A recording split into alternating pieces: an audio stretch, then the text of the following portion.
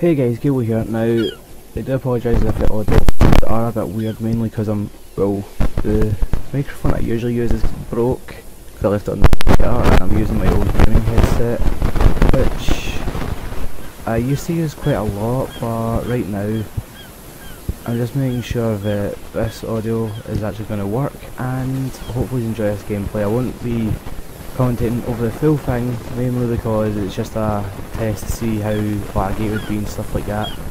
It was my very first time playing the forest, and as you see at the end of it, I do get killed, and then I do end up just leaving the game, just like that, you know forget it.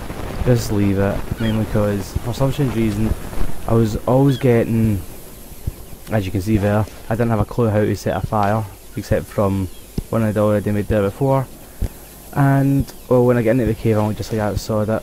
So yeah hopefully you enjoy. Strange enough in this gameplay the game lagged a bit less when I was recording it with Bandicam. I don't know why but hopefully you enjoy the game footage and I will try and get proper gameplay out soon. Thanks for watching and goodbye for now